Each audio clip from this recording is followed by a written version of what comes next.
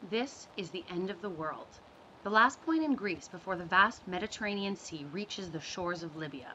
A liminal point geographically between mainland Europe and Africa, this place is also the mythological entrance to the Greek underworld, the home of Hades and the end of the world of the living.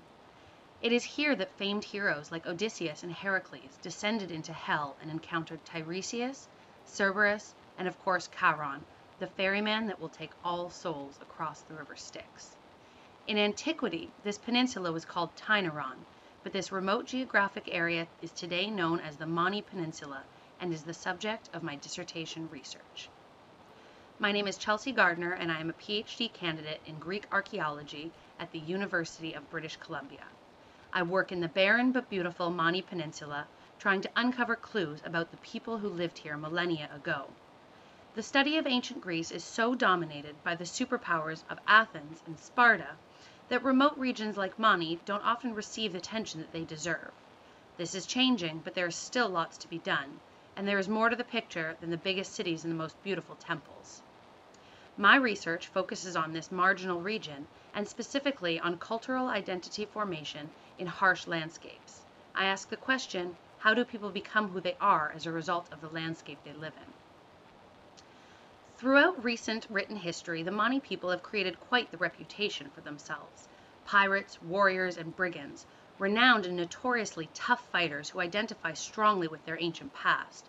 But how far does this identity stretch back? Is this wishful thinking?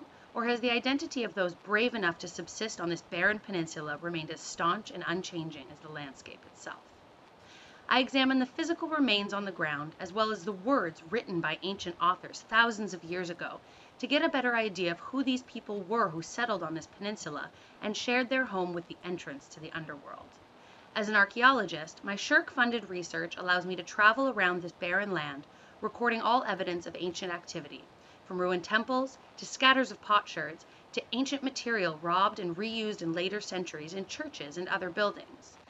These fragmentary clues help me to reconstruct the nature of settlements on this peninsula and this evidence, combined with studying the physical environment of this land, with its steep mountains, its rocky cliffs, and its natural harbors to the Mediterranean Sea, contribute to a larger understanding of the nature of settlements in geographically isolated areas. This understanding of liminal existence has a global application since we, as humans, throughout history have been amazingly adaptable at inhabiting all corners of the earth.